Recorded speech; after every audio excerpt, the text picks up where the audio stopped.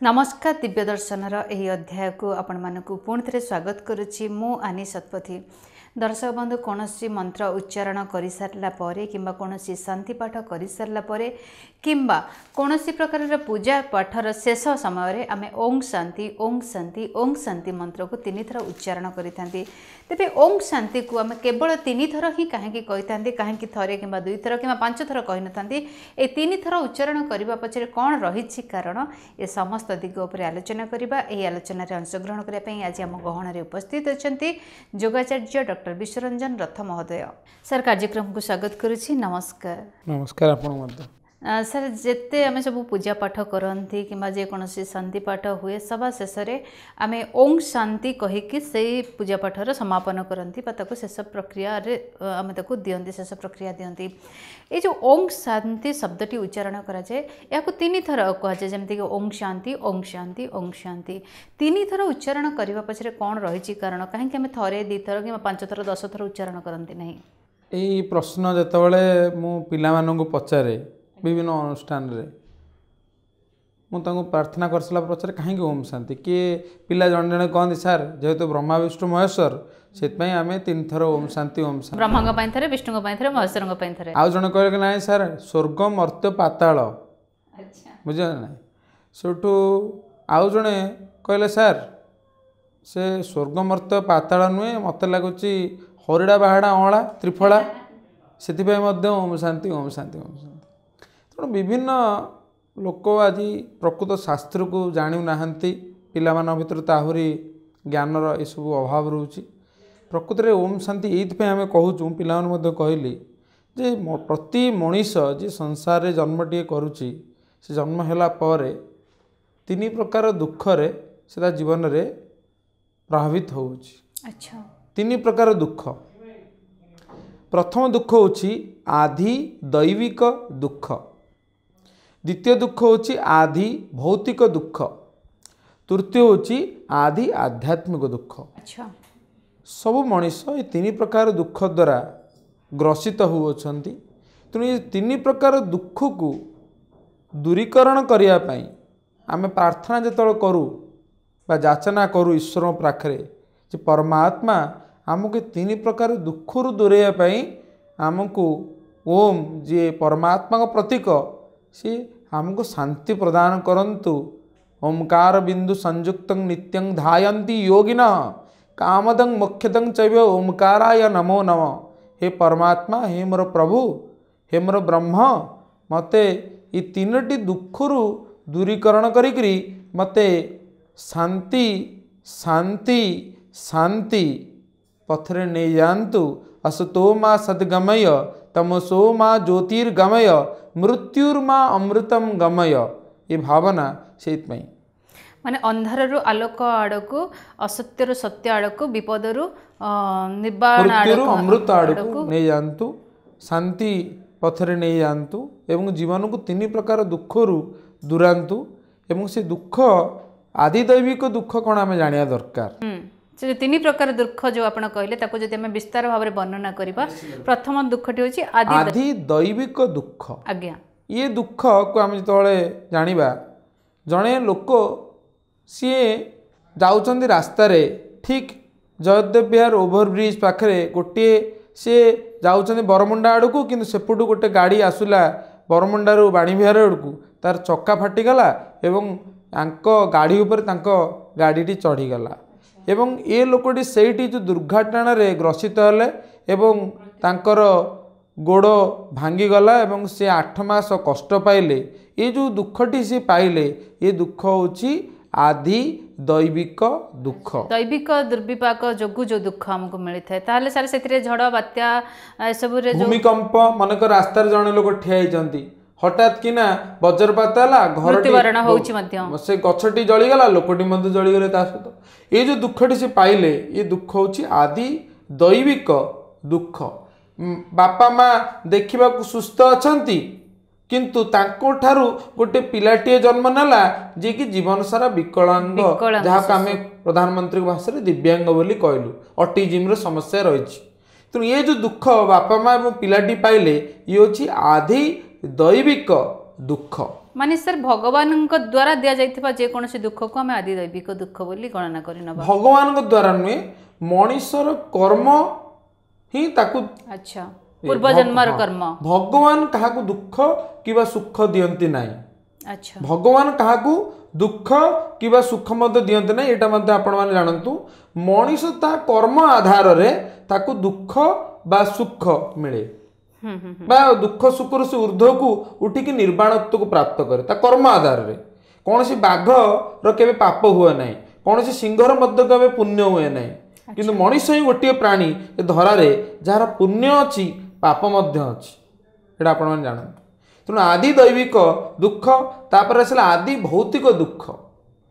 ଗାଡ଼ି ଜଣେ ଡ୍ରାଇଭିଂ କରୁଛନ୍ତି ସିଏ ହେଲମେଟ୍ ପିନ୍ଧୁନାହାନ୍ତି ତାଙ୍କୁ কলিঙ্গ হসপিটাল ছক পাখে ট্রাফিক পুলিশ ধরলে সাংে সাংে দুই হাজার টাকার তাঁর ফাইন দেলে এই যে লোকটি দুঃখ পাইলে দুই হাজার টঙ্কা সাংে সাংে গলা ইয়ে দুঃখ হচ্ছে কোণ নিজের মনুষ্যকৃত ভুল সাংে সাংে ভুল কলে সাংে সাংে দণ্ড পাইলে ভুল কলে দণ্ড পাইলে ইয়ে হচ্ছে কোণ না আদি ভৌতিক দুঃখ ভৌতিক সুখ পাই আমাকে যে দুঃখ গুড়া মিলে হ্যাঁ নিজের অজ্ঞানতা যোগু বা নিজের ଅଜ୍ଞାନତା ଯୋଗୁଁ ବା ନିଜର ମାନେ ଭୁଲ ବୁଝାମଣା ଯୋଗୁଁ ଆମର ସେ ଯେଉଁ ଦଣ୍ଡ ପାଇଲେ।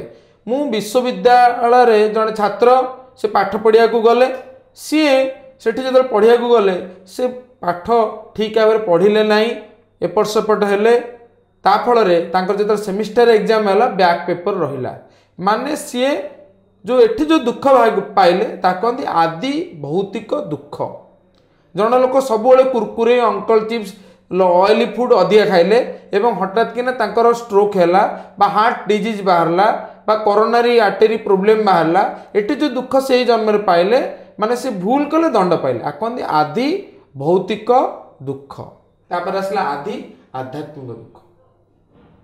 ଆଦି ଆଧ୍ୟାତ୍ମିକ ଦୁଃଖ ଆପଣ ଦେଖନ୍ତୁ ଜଣଙ୍କ ପାଖରେ ସବୁ କିଛି ଠିକ୍ ଠାକ୍ ଅଛି। ତାଙ୍କ ପରିବାର ବହୁତ ବଢିଆ ଚାକିରି ଠିକ୍ କରୁଛନ୍ତି ଆର୍ଥିକ ଦୃଷ୍ଟିକୋଣ ସମୃଦ୍ଧ ସବୁ ଠିକ୍ ଅଛି। କିନ୍ତୁ ମାନସିକ ଗୋଟେ ଉଦ୍ବଳନ ହେଉଛି ଯେ ମୁଁ ସାଉଥ ଆଫ୍ରିକାରେ ଗୋଟେ କ'ଣ ଗୋଟେ ଭଲ ଓକିଲ ହେଇକିରି ମୁଁ କ'ଣ ବସିବି? ତା ମୋ ପାଇଁ ଆଉ କିଛି ଅଛି ଉଦ୍ଦେଶ୍ୟ? ଭାରତ ତଥା ଆଫ୍ରିକାର ଲୋକମାନଙ୍କ ପାଇଁ କାମ କରିବି। ଯୋଉ କଥା ମୋହନ ଦାସକୁ ମହାତ୍ମା ଗାନ୍ଧୀ କରିଦେଲା ଯୋଉ ଦୁଃଖ ଯୋଉ ଦୁଃଖ ତଥାଗତକୁ ବୁଦ୍ଧ କରିଦେଲା ଯୋଉ ଦୁଃଖ ନରେନ୍ଦ୍ରକୁ ସ୍ୱାମୀ ବିବେକାନନ୍ଦ କରିଦେଲା ଯୋଉ ଦୁଃଖ ନଳିନୀକାନ୍ତ ଚଟ୍ଟୋପାଧ୍ୟାୟ ଡିପ୍ଲୋମା ଇଞ୍ଜିନିୟରକୁ ଠାକୁର ନିଗମାନନ୍ଦ କରିଦେଲା। ସେ ଦୁଃଖ ହଉଛି କ'ଣ? ନା ଆଦି ଆଧ୍ୟାତ୍ମିକ ଦୁଃଖ। ଆଚ୍ଛା। ତ ଦୁଃଖ ଜୀବନ ପାଇଁ ଆବଶ୍ୟକତା ମଧ୍ୟ ରହିଛି। ଦୁଃଖର ଆମେ କିଭଳି ନିରାକରଣ ହବ ତାର ମଧ୍ୟ ଜ୍ଞାନ ରହିବା ଦରକାର। ଇଏ ଶିଖଉଛି ଆମକୁ ଭାରତୀୟ ସଂସ୍କୃତି ଆଧାରିତ ଜ୍ଞାନ। ସେଇଥିପାଇଁ ଆମେ କହୁଛୁ ଓମ୍ ଶାନ୍ତି ଓମ୍ ଶାନ୍ତି ଓମ୍ ଶାନ୍ତି। ଆଜ୍ଞା ସାର୍। ତେବେ ଆଜିର ଦିନରେ ଆମେ ସାର୍ ବେଶୀ କୋଉ ଦୁଃଖରେ ମାନେ ଆକ୍ରମଣ ହୋଇଛନ୍ତି? ଆଜିର ଦିନରେ ଆମେ ସେଇ ଦୁଃଖ ଦୁଃଖ ସେ ତିନି ପ୍ରକାର। ସମସ୍ତ ମଣିଷ ମଣିଷ ଡିଫରେଣ୍ଟ ରହୁଛି। ସମସ୍ତେ ସେଇ ତିନି ଦୁଃଖ ଦ୍ୱାରା ଇଏ। କାହାଠି ଟିକେ କମ ଅଛି ବେଶୀ ଅଛି ନିଜ ନିଜର କର୍ମ ଦ୍ୱାରା କ୍ରିୟମାଣ କର୍ମ ସଞ୍ଚିତ କର୍ମ ପ୍ରାରବ୍ଧ କର୍ମ ଭାବ ଦ୍ୱାରା କିନ୍ତୁ ସମସ୍ତେ ଦୁଃଖ ଦ୍ୱାରା ଏ ସଂସାରରେ ଯିଏ ଜନ୍ମ ନେଇଛି ସେ ନିଶ୍ଚିତ ତାର କିଛି ନା କିଛି ଦୁଃଖଟି ଅଛି। ଏ ପ୍ରତି ପର୍ସନର। ପ୍ରତି ପର୍ସନର କିଛି ନା କିଛି ଦୁଃଖ ରହିଛି। ଏଇ ତିନି ଦୁଃଖ କାହାର କୋଉଟା ଅଧିକା ରହିଛି କାହାର କମ ରହିଛି। ଯୋଉ କଥାକୁ ଆମେ କହୁଛୁ ସାତ୍ବିକ ରାଜସିକ ତାମସିକ। ଏ ତିନିଟା କିଏ ପୁରା ସାତ୍ବିକ ନୁହେଁ କି ପୁରା ରାଜସିକ ନୁହେଁ କି ପୁରା ତାମସିକ ନୁହେଁ। ସବୁ ବ୍ୟକ୍ତିତ୍ୱରେ ସାତ୍ବିକତା ରହୁଛି ରାଜସିକ ରହୁଛି ତାମସିକ ରହୁଛି। କିନ୍ତୁ ଜଣେ ଲୋକ ଆମେ ତାକୁ କେତେବେଳେ ତାମସିକ ବୋଲି କହୁଛୁ ତାର। ତାମସିକ ପ୍ରବୃତ୍ତିଟା ରାଜସିକ ସାତ୍ବିକ ଉପରେ ଓଭରଲାପିଂ କରିକି ଅଛି।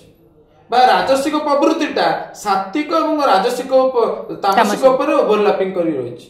ତେଣୁ ସବୁ ମଣିଷ ଭିତରେ ଏଇ ଗୁଣ ଗୁଡାକ ଅଛି ଏଇ ଦୁଃଖ ଗୁଡାକ ଅଛି। କିନ୍ତୁ କିଏ କୋଉ ଦୁଃଖ ଦ୍ୱାରା ପ୍ରଭାବିତ ହଉନାହିଁ ଏବଂ କୋଉ ଦୁଃଖକୁ ସେ ନିଜର ଲକ୍ଷ୍ୟ କରୁଛି। ଆଚ୍ଛା ମଣିଷ ମଧ୍ୟ ସାର୍ ନିଜ ଦୁଃଖକୁ ଲକ୍ଷ୍ୟ କରେ? ହଁ ସେ ତାର ମାନେ ଭଗବାନ ବୁଦ୍ଧଙ୍କ ଜୀବନରେ ବିଭିନ୍ନ ପ୍ରକାର ସମସ୍ୟା ଥିଲା। ମା ମୃତ୍ୟୁବରଣ କରିଥିଲେ ଏବଂ ସିଏ ଯୋଉ ଚାହୁଁଥିଲେ ସମାଜରେ ଗୋଟେ ସମସ୍ତେ କାହା କାହା ଭିତରେ ଝଗଡା ନ ହଉ ଶାନ୍ତି ରହୁ କିନ୍ତୁ ଏସବୁ ଭିତରେ ମଧ୍ୟ ଆମେ ଦେଖିଲେ ଯେ ସିଏ ସବୁ କିଛି ଭିତରେ ତାଙ୍କୁ ଭଲ ଲାଗିଲା କଣ ନା ଜଣେ ଯେତେବେଳେ ସନ୍ନ୍ୟାସୀକୁ ଦେଖିଲେ? ସେ ତାଙ୍କର ଯୋଉ ଉଁ, ଯାଇଥିଲେ ବାହାରକୁ ମା, ତାଙ୍କର ଅଶ୍ଵ ଅଶ୍ୱାରୋହୀ ରଥି ତାଙ୍କୁ ନେଇକିରି ବୁଲେଇ ନେଇଥିଲେ। ପ୍ରଥମେ ସେ ଦେଖିଲେ କାହାକୁ? ନା ଜଣେ ବୁଢା ଲୋକକୁ। ନା ଇଏ କିଏ ଆଜ୍ଞା? ନା ଇଏ ଜଣେ ବୁଢା ଲୋକ? ଜୀବନ ସାରା ଜୀବନ କଷ୍ଟ କରି କରିକିରି ହଁ ବାଳକ ଅବସ୍ଥାରୁ ଯୌବନ ଅବସ୍ଥା ପୌଢ ଅବସ୍ଥା ବର୍ତ୍ତମାନ ବୃଦ୍ଧତ୍ୱ। ଆଚ୍ଛା ଠିକ ଅଛି। ତାହେଲେ ଜୀବନଟା ଏଇଆ। ଆଉ ଟିକେ ପରେ ଦେଖିଲା ବେଳକୁ ଗୋଟେ ଲୋକ ରୋଗିଣା ଲୋକ ସେ କେବଳ କାଶୁଛି ତା ବ- ମାନେ ଖଙ୍କାରରେ କେବଳ ରକ୍ତ ବାହାରୁଛି। ଇଏ କିଏ? ନା ଇଏ ହଉଛି ଜଣେ ସେଇଭଳି ଲୋକ ଯେ ଜୀବନ ସାରା ବହୁତ ପ୍ରକାରର ନିଶା ଦ୍ରବ୍ୟ ଖାଇଛନ୍ତି ଉ- ମାନେ ଆ- ମାଦକ ଦ୍ରବ୍ୟ ଖାଇଛନ୍ତି ବର୍ତ୍ତମାନ ତାଙ୍କୁ କେମ୍- ଏଇଭଳି କର୍କଟ ରୋଗ ହେଇଯାଇଛି ଏବଂ ତାଙ୍କ ମାନେ ଇଏରେ ରକ୍ତ ଆସୁଛି। ଆଚ୍ଛା ରୋଗିଣା ଲୋକକୁ ଦେଖିଲେ। ଆଉ ଟିକେ ପୂର୍ବକୁ ଦେଖିଲେ ସେଠୁ ଜଣେ ବୃଦ୍ଧ ଜଣେ ମୃତ ଲୋକକୁ ଦେଖିଲେ ଯାହାଙ୍କୁ ଲୋକ ନେଇକି ଆସୁଥିଲେ। ନାଇଁ କିଏ? ନାଇଁ ଜୀବନ ସାରା ସମାଜକୁ ଭୋଗ ଭୋଗ କରିଗଲେ ବର୍ତ୍ତମାନ ତାଙ୍କ ଅଗ୍ନି ଭୋଗ କରିବାକୁ ଯାଉଛନ୍ତି। ମୃତ ଲୋକ। ତାପରେ ଆଉ ଟିକେ ଗଲା ବେଳକୁ ଜଣେ ସନ୍ନ୍ୟାସୀ ବସିଛନ୍ତି। ସେ ଧ୍ୟାନରେ ବସିଛନ୍ତି ଆନନ୍ଦରେ ବସିଛନ୍ତି ପ୍ରେମରେ ବସିଛନ୍ତି। ଇଏ ଯେତେବେଳେ ଦେଖିଲେ ଏଇ ତିନିଟି ଲୋକଙ୍କୁ ଦେଖିଲି କାହା ମନରେ ଗୋଟେ ଉଜ୍ଜ୍ୱଳତା ପ୍ରେମ ଆନନ୍ଦ ନାହିଁ ଖୁସି ନାହିଁ। ତେଣୁ ଇଏ ଯୋଉ ସନ୍ନ୍ୟାସୀ ଇଏ କିଏ? ନା ଇଏ ଈଶ୍ୱରଙ୍କ ପ୍ରତି ସମର୍ପଣ ଭାବ। ଅହଂକୁ ଯେ ବିନ୍ୟାସ କରିଛନ୍ତି ସେ ସନ୍ନ୍ୟାସ ବୁଝିପାରୁଛ ନା ସେଇଠି ଭଗବାନ ବୁଦ୍ଧ ସେ ସନ୍ନ୍ୟାସତ୍ୱକୁ ଗ୍ରହଣ କରିବା ପାଇଁ ମାନସିକ ରୂପେ ନିଜକୁ ସଂକଳ୍ପିତ କରେ। ଆଚ୍ଛା। ସେଇଠୁ ସେ ସନ୍ନ୍ୟାସ ବୌଦ୍ଧ ଧର୍ମ ଗ୍ରହଣ କଲେ। ନିଶ୍ଚିତ ରୂପେ। ଦୁଃଖ ମଣିଷ ପାଇଁ ନିହାତି ଆବଶ୍ୟକତା ରହିଛି ବିନା ଦୁଃଖରେ। ମହାତ୍ମା ଗାନ୍ଧୀ ହେଇପାରିନଥାନ୍ତେ ବିନା ଦୁଃଖରେ। କୃଷ୍ଣ ଜନ୍ମ ନଉ ନଉ କୋଉଠି ଜନ୍ମ ନା ଜେଲ ଭିତରେ? କୃଷ୍ଣ ନଉ ନଉ ଜନ୍ମ କୋଉଠି ନା ବାପା ମା ଜେଲରେ ପିଲା ମଧ୍ୟ ଜେଲରେ। ଆଜିକା ଡେଟରେ ଆମେ ସମସ୍ତେ କହୁଛୁ ଜେଲ। କିନ୍ତୁ ଆପଣ ଦେଖନ୍ତୁ ଭଗବାନ କୃଷ୍ଣ ଜନ୍ମ ନେଇଥିଲେ କୋଉଠି? କୋଉଠି ଶ୍ରୀ ଅରବିନ୍ଦ ଭଗବାନ କୃଷ୍ଣଙ୍କୁ ଦର୍ଶନ କଲେ ନା ଜେଲ ଭିତରେ ଭଗବାନ ଶ୍ରୀ ଅ- କୃଷ୍ଣଙ୍କୁ ଦର୍ଶନ କଲେ ଆଲିପୁର ସେଣ୍ଟ୍ରାଲ ଜେଲରେ ଶ୍ରୀ ଅରବିନ୍ଦ ବୁଝିପାରୁଛ ନା ଏବଂ ଆମେ ଯୋଉ ଗୀତାର ରହସ୍ୟ ପଢୁଛୁ ସ- ବାଲ ଗଙ୍ଗାଧର ତିଲକଙ୍କର ସେ କୋଉଠି ସେ ବହି ଲେଖିଥିଲେ ଗୀତା ରହସ୍ୟ ବାଲ ଗଙ୍ଗାଧର ତିଲକ ନା ଜେଲ ଭିତରେ ମାଣ୍ଡୁରା ଜେଲ ଭିତରେ ରହିକିରି ସେ ଗୀତା ରହସ୍ୟ ଭଳି ପୁସ୍ତକ ଲେଖିଥିଲେ ତେଣୁ ଆମର ମାନସିକତା କିଭଳି ଆମେ ଦୁଃଖଟାକୁ କିଭଳି ଗ୍ରହଣ କରୁଛୁ ସେଇଟା ହଉଛି ଗୋଟେ ବ୍ୟକ୍ତିର ବ୍ୟକ୍ତିତ୍ୱ। ସିଏ ହଉଛି ରିଅଲ ହିରୋ ଯେ ସେଥିପାଇଁ ଡକ୍ଟର କାଲାମ କହିଛନ୍ତି if you burn like a sun then first if you shining like a sun then you first burn like a sun ତୁମେ ଯଦି ସୂର୍ଯ୍ୟ ଭଳିଆ ଚମକିବାକୁ ତେଜିଆନ ହବାକୁ ଚାହୁଁଛ ତାହେଲେ ତୁମେ ସୂର୍ଯ୍ୟ ଭଳିଆ ଜଳିବାକୁ ପଡିବ। ରାଇଟ୍ কারণ স্যার আমি যদি যেতে দুঃখ কুহযায় যে দুঃখকু যে যেতে অনুভব করিছি সে সেতে শক্ত হই পারিছি সোনাকে আপন যেতে নিয়ার পকিবে সে আউর ওজল্য সম্পন্ন হব তো দুঃখ নিহাতি জীবন পাই দরকার এবং সে দুঃখকু কিন্তু কীভাবে আপন ଯୋଉ ଧରୁଛନ୍ତି ନିଜ ଜୀବନରେ ସେଇଥିପାଇଁ ଗୋଟେ ଆଧ୍ୟାତ୍ମିକ ଜ୍ଞାନ ଦରକାର ସେ ମାର୍ଗ ହଉଛି ଶାନ୍ତିର ପଥ ଓମ୍ ଶାନ୍ତି ଓମ୍ ଶାନ୍ତି ଓମ୍ ଶାନ୍ତି ବହୁତ ସୁନ୍ଦର କଥା ସାର୍ କହିଲେ ଦୁଃଖକୁ ଯଦି ଆମେ ଆମ ଜୀବନରୁ ଆ, ଏଡ଼େଇବାକୁ ଚାହୁଁଛନ୍ତି ତାହେଲେ ଆଧ୍ୟାତ୍ମିକ ମାର୍ଗ ମାଧ୍ୟମରେ ହିଁ ଏଡ଼େଇ ପାରିବା ଓଂ ଶାନ୍ତି ମାଧ୍ୟମରେ ଆଜ୍ଞା। ତେବେ ସାର୍ ଓଂ ଶାନ୍ତି ଏ ଯେଉଁ ଶବ୍ଦଟି ଉଚ୍ଚାରଣ କରିବା ପଛରେ କ'ଣ ସତରେ ଦୁଃଖ ଆମ ଜୀବନରୁ ପଳେଇଯାଏ ନିଶ୍ଚିତ ରୂପେ ଗୋଟେ ଶବ୍ଦର ଆମେ ପ୍ରଭାବ ରହିଛି ଆମ ଜୀବନ ଉପରେ। ନିଶ୍ଚିତ ସବୁ ଶବ୍ଦର ଆମ ଜୀବନ ଉପରେ ପ୍ରଭାବ ରହିଛି। ଆମେ ଯଦି ଜଣଙ୍କୁ ଆମେ କହିଦଉଛୁ ତମେ ଆଜି ବହୁତ ସୁସ୍ଥ ନିରାମୟ ଦେଖାଯାଉଛ ସେ ଲୋକଟି ଖୁସି ହେଇଯାଉଛି। ହେଲେ ଆମେ ତାଙ୍କୁ କହିଦଉଛୁ ଆଜି ତମେ କାହିଁ ଏତେ ମାନେ ଭଲ ଦେଖାଯାଉନ? ତମେ ଆଜି କାହିଁ ରୋଗିଣା ଭଳିଆ ଦେଖାଯାଉଛ? ସେ ଲୋକଟି ମନ ସୁଖୀ। ଆହୁରି ରୋଗଣା ହେଇଯାଉଛି ମନର ଆମର କଥାର ପ୍ରଭାବ ରହିଛି। ଆମେ ବାପା ବାପା ଆପଣଙ୍କର ଯେ ଶଳା ଆସିଛନ୍ତି ବୋଲି ଯଦି କହିଦେବା ତାହେଲେ ବାପା ଆମକୁ ସେଠି ବାଡେଇବେ। ବାପା ବାପା ମାମୁଁ ଆସିଛନ୍ତି ଯଦି କହିଦେବେ ତାହେଲେ ମାମୁଁ ଆସିଛନ୍ତି। ତେଣୁ ସେଇ ଯୋଉ କହିବାର ଢଙ୍ଗ ହଉଛି ଏ ଓମ୍ ଶାନ୍ତି ଓମ୍ ଶାନ୍ତି ଓମ୍ ଶାନ୍ତି ଯୋଉଟାକି ଆମ ଓଡ଼ିଆରେ କହି କୁହାଯାଇଛି କହି ଜାଣିଲେ କଥା ସୁନ୍ଦର ବାନ୍ଧି ଜାଣିଲେ ମଥା ସୁନ୍ଦର। ଆପଣ କିଭଳି ନିଜର କଥାକୁ ସମାଜ ଆଗରେ ପରିବେଷିତ କରୁଛନ୍ତି? ଇଏ ହେଉଛି ଭାରତୀୟ ସଂସ୍କୃତିର କହିବାର ଢଙ୍ଗ। ଆଜ୍ଞା ସାର୍ କିନ୍ତୁ ସାର୍ ଏଇ ଯେଉଁ ଓଂ ଶାନ୍ତି ତ ଜଣେ ଖାଲି କେବେ ବି କହେ ନାହିଁ କୌଣସି ମନ୍ତ୍ର ଉଚ୍ଚାରଣ କରୁ କିମ୍ବା କୌଣସି ହୋମ ଯଜ୍ଞ କରୁଛନ୍ତି ସଭା ଶେଷରେ ଓଂ ଶାନ୍ତି କହିକି ହିଁ ତାର ସମାପନ କରନ୍ତି କିମ୍ବା ଯେମିତି ଶାନ୍ତି ପାଠ କରାଯାଏ ତା ସଭା ଶେଷରେ ହିଁ ଓଂ ଶାନ୍ତି କୁହାଯାଏ। ଆ ପଛରେ କ'ଣ ରହିଛି ରହସ୍ୟ? ଆମେ କାହିଁକି ଆରମ୍ଭରୁ ଓଂ ଶାନ୍ତି କହିକି ତାକୁ ସମାପନ କରିଦେବାନି? ନା ନା କୌଣସି ଗୋଟେ ମନ୍ତ୍ର ଯେତେବେଳେ ଆମେ ପ୍ରାର୍ଥନା କରୁ ମନ୍ତ୍ର ଶେଷରେ ହିଁ ଆମେ ଶାନ୍ତି ଉଚ୍ଚାରଣ କରୁ ଯେ ଆମେ ଯେତେବେଳେ ସାରା ମନ୍ତ୍ରକୁ ଉଚ୍ଚାରଣ କଲୁ ଏବଂ ଆମେ ସମାଜର ସମସ୍ତଙ୍କର କଲ୍ୟାଣ ଚାହୁଁଛୁ କେବଳ ମୋର ନୁହେଁ ଏ ସାରା ସମାଜର ଏ ସାରା ବିଶ୍ୱର କଲ୍ୟାଣ ହଉ ସେ ଭାବନା ଏବଂ ସମସ୍ତ ସମାଜରୁ ଏଇ ଯୋଉ ଦୁଃଖ ଆସୁଛି ସେ ଦୁଃଖକୁ କିଭଳି ମଣିଷ ନିରାକରଣ କରିପାରିବ ନିଜ ଜୀବନରୁ ଏବଂ ତାକୁ କିଭଳି ସମ୍ମୁଖୀନ ହବ ସେଇ ପ୍ରକାର ସସାହସ ପ୍ରତି ମନୁଷ୍ୟ ଭିତରେ ପରମାତ୍ମା ଦିଅନ୍ତୁ ସେଇଥିପାଇଁ ଆମେ ଓମ୍ ଶାନ୍ତିର ଏ ભાવના દઉં છું એ તારો મુખ્ય શાસ્ત્ર ઉક્ત ભાવના ଆଜ୍ଞା ସାର୍ ବହୁତ ଭଲ କଥା ସାର୍ କହିଲେ।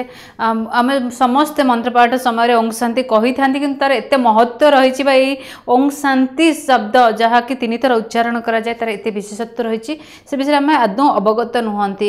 କିନ୍ତୁ ସାର୍ ଯେଉଁ ପୂର୍ବ କାଳରେ ଯେତେବେଳେ ମୁନି ଋଷିମାନେ ମଧ୍ୟ ଶାନ୍ତି ପାଠ କରୁଥିଲେ ଆ, ସେତେବେଳେ ସେମାନେ ମୁନି ଋଷିମାନେ ଯେମିତି ଆପଣ କହିଲେ ଯ- ଯେଉଁ ଯୋଗୀ ଯିଏ ସନ୍ନ୍ୟାସୀ ଯିଏ ସେ ସବୁବେଳେ ଭଗବାନଙ୍କ ସହିତ ରହିଥାନ୍ତି ଭଗବାନ ଭଗବତ ଚିନ୍ତାଧାରା ରହିଥାନ୍ତି ତାଙ୍କର ପୁଣି ଦୁଃଖ କ'ଣ ସେ ଓଂ ଶାନ୍ତି କାହିଁକି କୁହନ୍ତି। ସେମାନେ ଏଇଥିପାଇଁ ଯୋଉ ଆଧ୍ୟାତ୍ମକୁ କହିଲେ ନା ଦୁଃଖ ହଉଛି ତିନି ପ୍ରକାରର। ଗୋଟେ ହଉଛି ଆଦି ଦୈବିକ ଦୁଃଖ ଆଦି ଭୌତିକ ଦୁଃଖ ଏବଂ ଆଦି ଆଧ୍ୟାତ୍ମିକ ଦୁଃଖ। ଆପଣ ଦେଖନ୍ତୁ ଋଷି ମୁନି ମାନଙ୍କର ଜୀବନରେ ମଧ୍ୟ ରାକ୍ଷସ ମାନେ ଆସିକି ବିଭିନ୍ନ ପ୍ରକାର। ବିବାଦ କରୁଥିଲେ। ଭଗବାନ ପରଶୁରାମଙ୍କର ବାପା ହଉଛନ୍ତି ଯମଦଗ୍ନି। ଯମଦଗ୍ନିଙ୍କ ଭଳି ଋଷିଙ୍କୁ ମଧ୍ୟ କେତେ ରାକ୍ଷସ ମାନେ ମଧ୍ୟ ହଇରାଣ କରିଛନ୍ତି। ବଶିଷ୍ଠ ବିଶ୍ୱାମିତ୍ରକୁ ମଧ୍ୟ ରାକ୍ଷସ ମାନେ କିଭଳି ହଇରାଣ କରୁଥିଲେ। ତେଣୁ ଋଷି ମାନଙ୍କ ଜୀବନରେ ମଧ୍ୟ ବିଭିନ୍ନ ସମୟ ସମସ୍ୟା ରହୁଥିଲା। ସେଇ ସମସ୍ୟାକୁ ସେ ଆଧ୍ୟାତ୍ମିକତା ମାଧ୍ୟମରେ ଦୂରୀକରଣ କରିବାର ସୂତ୍ର ପାଇଁ ସେ ଓଙ୍କାର ଓମ୍ ଶାନ୍ତିର ଶାନ୍ତିର ରାସ୍ତା ସେଇଥିପାଇଁ ଆପଣାନ୍ତି। ଶାନ୍ତି ପାଠ ସାର୍ ତାହେଲେ କାହିଁକି କରାଯାଏ? ଶାନ୍ତି ପାଠର କ'ଣ ରହିଛି ଶାନ୍ତି ବିଶେଷତ୍ୱ ପାଠ ଏଇ ଏଇ ଜିନିଷ ଯେକୌଣସି ଶାନ୍ତି ପାଠ ଆପଣ କରିବେ से जो आम भारत संस्कृति सर्वे भवंतु सुखिन, सर्वे सन्तु निरामया, सर्वे भद्राणी पश्यंतु माँ कश्चि दुख भाग भवेत। जे हे परमात्मा क्या दुख दिंतु ना ये जो भावना। ये सही भावना को आम कहचु असतो माँ सदगमय, तमसो माँ ज्योतिर्गमय मृत्युर्मा अमृतम गमय। ये सही भावना। भाव गोटे से भाव को आम आज जो डिस्कसन कर वार्तालाप करुचे, ताको ଗୋଟେ ଦୃଷ୍ଟିକୋଣ ନେଇକିରି ଆଦି ଦୈବିକ ଆଦି ଭୌତିକ ଏବଂ ଆଧ୍ୟାତ୍ମିକ ଦୃଷ୍ଟିକୋଣକୁ ନେଇ। ଯୋଉଟା କି ସାରା ଜନସମାଜରେ ବିଭିନ୍ନ ଘଟଣାବଳୀକୁ ନେଇକି ଆମେ ତାକୁ ଯୋଡୁଛେ ଲୋକମାନେ ଯଦି ବୁଝିପାରିବେ ତା କହିବେନି ଯେ ହଁ ଇଏ ଗୋଟେ ଶାସ୍ତ୍ର ଜିନିଷ କି ଗୋଟେ ପୋଥି ଜିନିଷ ପୁରାଣ ଜିନିଷ। ଆମେ ତାଙ୍କ ଜୀବନ ଯାହା ଆମ ଦୈନନ୍ଦିନ ଜୀବନରେ ଘଟୁଛି ଆମ ଆଖପାଖରେ ଘଟୁଛି ଆମ ସହିତ ଘଟୁଛି ଆମ ସମାଜରେ ଘଟୁଛି ତାହାକୁ ଆପଣ ମନ୍ତ୍ର ମାଧ୍ୟମରେ ତାହାକୁ ଆମର ବୈଦିକ ରୀତି ନିୟମ ମାଧ୍ୟମରେ ବହୁତ ସୁନ୍ଦର ଭାବରେ ସୂକ୍ଷ୍ମ ଭାବରେ ବୁଝାଇ ଦେଲେ ଆଜ୍ଞା। ଶେଷରେ ସେଇ ଓଂ ଶାନ୍ତି ଯେଉଁ ଉଚ୍ଚାରଣକୁ ନେଇକି ଆମର ଆଜିର ଆଲୋଚନା ହେଲା ଆପଣଙ୍କ ପାଖରୁ ଗୋଟେ ଶ୍ଲୋକ ସେ ଓଂ ଶାନ୍ତିରେ କିପରି ଭାବରେ ସମାପନ ହେଉଛି ଶୁଣିକି ଆମର ଏ କାର୍ଯ୍ୟକ୍ରମକୁ ରଖିବା निश्चित रूपे सर्वे भवन्तु सुखिनः सर्वे सन्तु निरामय सर्वे भद्राणि पश्यन्तु मा कस्य दुःखभाग् भवेत् ॐ असतो मा सद्गमय तमसो मा ज्योतिर्गमय मृत्युर्मामृतं गमय ॐ शान्तिः शान्तिः शान्तिः ବହୁତ ବହୁତ ଧନ୍ୟବାଦ ଆପଣଙ୍କୁ ନମସ୍କାର ଆପଣ ମଧ୍ୟ ଦର୍ଶକ ବନ୍ଧୁ ସବୁବେଳେ ଯେକୌଣସି ଶାନ୍ତି ପାଠ ହେଉ କିମ୍ବା ମନ୍ତ୍ର ଉଚ୍ଚାରଣ ହେଉ ଆମେ ସମସ୍ତେ ଓଂ ଶାନ୍ତି ଏ ଶବ୍ଦଟି ତିନିଥର ଉଚ୍ଚାରଣ କରନ୍ତି। କିନ୍ତୁ ଏହି ତିନିଥର ଉଚ୍ଚାରଣ କରିବା ପଛରେ ଯେ ଏତେ ରହସ୍ୟ ଅଛି ଏ ବିଷୟରେ ଆମେମାନେ ଆଦୌ ଅବଗତ ନଥିଲେ। ଆଜିର ଏ ଅଧ୍ୟାୟରେ ଆମେ ନିଶ୍ଚିନ୍ତ ଭାବରେ ଜାଣିପାରିଥିବା କାହିଁକି ଆମେ ଓଂ ଶାନ୍ତି ଶବ୍ଦକୁ ତିନିଥର ଉଚ୍ଚାରଣ କରନ୍ତି। ଆପଣମାନେ ମଧ୍ୟ ଯେକୌଣସି ମନ୍ତ୍ର ପାଠ କରୁଛନ୍ତି ତିନିଥର ଏହି ଶବ୍ଦକୁ ଉଚ୍ଚାରଣ କରନ୍ତୁ। ଆପଣଙ୍କ ଜୀବନର ସବୁ ପ୍ରକାରର ଦୁଃଖ ବିନାଶ ହେବ। ଏ ସମାଜର ମଙ୍ଗଳ ହେବା ସହିତ ଆପଣଙ୍କର ମଧ୍ୟ ମଙ୍ଗଳ ହେବ। ସମୟ ଯାଇଛି ଆଜିର ଏ କାର୍ଯ୍ୟକ୍ରମକୁ ଏଠି ରଖୁଛି ବିଦାୟ ଦିଅନ୍ତୁ। ନମସ୍କାର।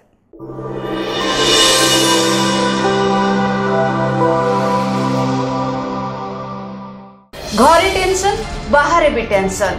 ପୁଅର ଚାକିରି ପାଇଁ ହଉ ଝିଅର ବାହାଘର ପାଇଁ ହଉ। ଘରେ ଅଶାନ୍ତି ମୁଣ୍ଡ ଉପରେ ଋଣର ବୋଝ। କୋର୍ଟ କଚେରୀ ମାମଲା ଆଉ ଜମି ଜମା ବିବାଦ। ଏ ସବୁ ଭିତରେ ଆପଣମାନେ ଘାଣ୍ଟି ହେଉଛନ୍ତି ନା? ଏହିସବୁ ଟେନସନରୁ ମୁକୁଳିବାର ରାସ୍ତା ଖୋଜୁଛନ୍ତି କି? ଜାଣିବାକୁ ଚାହୁଁଛନ୍ତି ଆପଣଙ୍କ ସମସ୍ୟାର ସମାଧାନ କେବେ ଏବଂ କିପରି ହେବ? ଦେଖନ୍ତୁ ଭାଗ୍ୟଚକ୍ର। ଆପଣ ସମସ୍ତ ପ୍ରଶ୍ନର ଉତ୍ତର ପାଇପାରିବେ ଆମ କାର୍ଯ୍ୟକ୍ରମରେ। ଭାଗ୍ୟଚକ୍ର। ପ୍ରତି ମଙ୍ଗଳବାର ଗୁରୁବାର ରବିବାର ରାତି ନଅଟାରେ କେବଳ ଡି ଟିଭି ଓଡ଼ିଆରେ